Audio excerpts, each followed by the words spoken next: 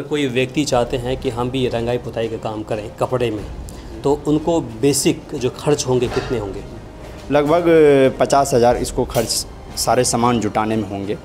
उसके बाद पचास हज़ार आप पचास हज़ार से आप बिज़नेस स्टार्ट कर सकते हैं। तो जो हाइड्रो मशीन है बीस से पच्चीस हज़ार की होगी?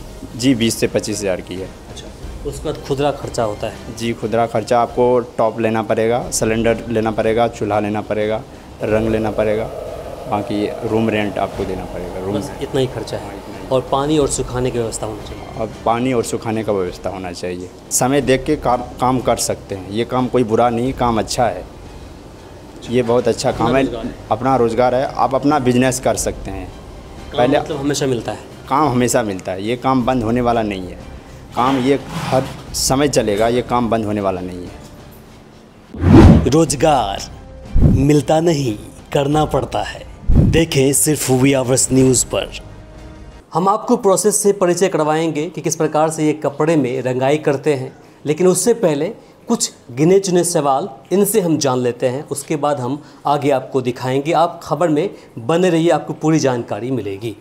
सबसे पहले अपना परिचय दीजिए। जी मेरा नाम मोहम्मद सरताज हुआ और घर मेरा बिहार पूर्णिया ज़िला से हूँ।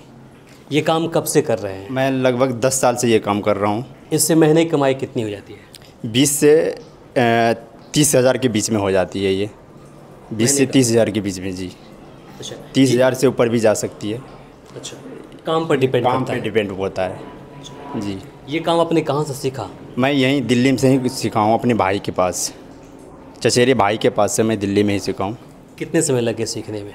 ढाई से तीन साल लगते हैं इसमें सीखने में। आपको पूरा प्रॉपर मास्टर बनने में ढाई से तीन साल लगते हैं। अब आपको कलर की पूरी जानकारी होगी? जी बिल्कुल जानकारी होगी बिल्कुल। एक मीटर कपड़े में कितना समय लग जाता है? आपको एक लाइट कलर रहेगा आप 10 से 15 मिनट में आप एक मीटर कपड़े जो बना लेंगे 10 से 15 मिनट में। अच्छा। जी। आपके पास जीएसटी और रजिस्ट्रेशन भी होगा? जी जीएसटी भी है मेरे पास। सरकार जीएसटी बिल पक्के बिल है मेरे पास। जी। सरकार की ओर से कोई लाभ भी मिलता है आप लोग जी नहीं कोई लाभ नहीं मिलती। आपके परिवार में कितने लोग हैं? मेरे परिवार में चार पाँच लोग हैं। काम करने में मन लगता है कि नहीं? जी इनकम होगा तो बिल्कुल मन लगता है और किसी महीने इनकम नहीं होगा तो फिर दिल नहीं लगता। इनकम पे बात डिपेंड होता है मन लगता है। लागत कितनी लगती है इसमें? लागत आपका मान लीजिए अगर चालीस हज़ार की काम हुई तो लगभग दस हज़ार की लागत दस से पंद्रह हज़ार लागत लगता है इसमें दस हज़ार की। जो आपने सामान ख़रीदा है हम देख रहे हैं कि पूरा आपके पास मटेरियल पड़ा हुआ है।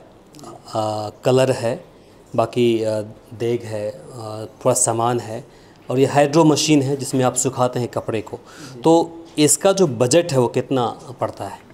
ये कलर जो है कोई कलर आता है आठ सौ रुपये किलो और कोई कलर आता है छः सौ रुपये किलो। क्वांटिटी कम रहता होगा? पचास ग्राम सौ ग्राम दो सौ दो सौ ग्राम ढाई सौ ग्राम? इस हिसाब से आता है। हर तरह का कलर आता है। छः सौ रुपये पाँच सौ रुपये किलो आता है पर के जी अगर कोई व्यक्ति चाहते हैं कि हम भी रंगाई पुताई का काम करें कपड़े में तो उनको बेसिक जो खर्च होंगे कितने होंगे?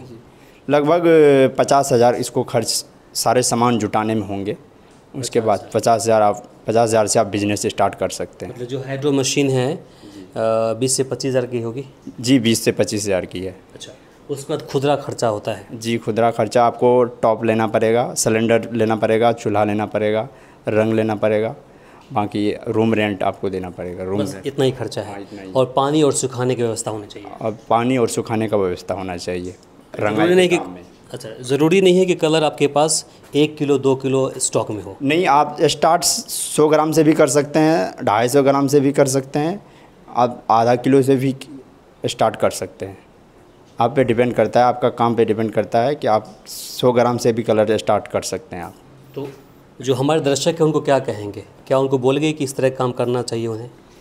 आपके डिपेंड पे काम मन होता है कि आपको लग रहा है कि ये काम अच्छा है तो आप आके इसमें समय देख के काम काम कर सकते हैं। ये काम कोई बुरा नहीं काम अच्छा है। ये बहुत अच्छा काम है। अपना रोज़गार है। आप अपना बिज़नेस कर सकते हैं।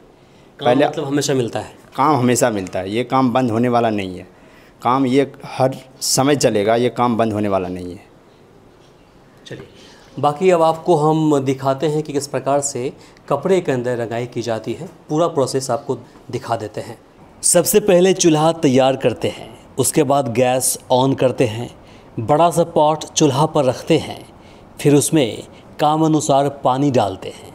कपड़े को पहले सर्फ में डालकर निकालते हैं। फिर थोड़ी देर बाद पानी उबलने के बाद उसमें ऑर्डर के अनुसार कई सारे कलर मिलाकर सही कलर तैयार करते हैं।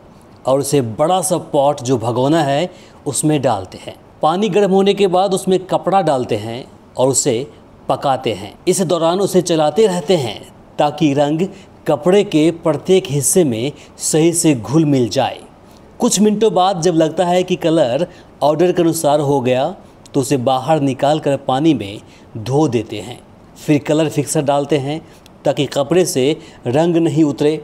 उसके बाद ऑर्डर कलर से मैच करते हैं। सही पाए जाने पर कपड़े को हाइड्रो मशीन में सुखाने के लिए डालते हैं, फिर कुछ सेकंड के बाद उसे निकाल कर पाँच मिनट के लिए धूप में सुखाते हैं। अब आपका कपड़ा ऑर्डर के अनुसार तैयार हो गया।